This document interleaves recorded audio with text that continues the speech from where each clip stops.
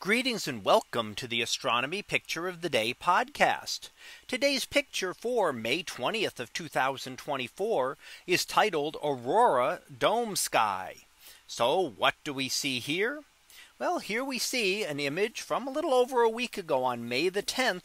And that is when one of the storms from the sunspot group known as AR 6443 ejected what we call a coronal mass ejection. So that was sent out into space and happened to come in the general direction of Earth. It didn't hit us directly, but came very close and therefore gave us a lot of big auroral displays. A coronal mass ejection contains large numbers of charged particles and those will funnel around Earth's magnetic field striking the Earth's atmosphere near the north and south celestial poles. So here we see an image from Wisconsin in the United States that shows some of that aurora, the very strong purple aurora up toward the top, and then a yellowish green aurora lower down.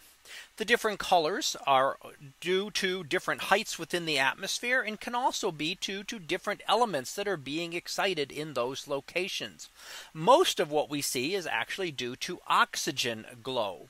So oxygen when excited gives off specific colors. It gives off a distinct green in many cases.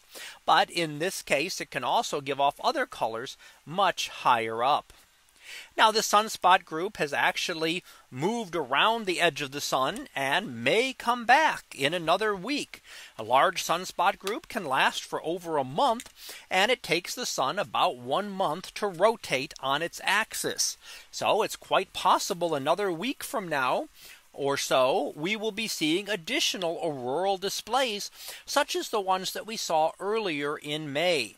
So something to look forward to. And we will not know until this sunspot group comes back around and see if it was able to survive that long.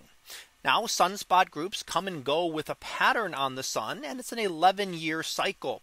And we are approaching the maximum of that, meaning that we're going to be seeing more and more sunspots over the next couple of years.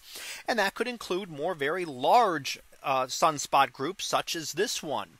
And those could lead to far more auroral displays visible at various locations around the Earth, including locations farther south than we are much than we are generally used to seeing them.